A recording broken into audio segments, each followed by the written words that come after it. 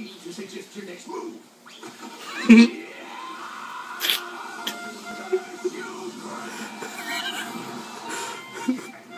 and now for the chaser.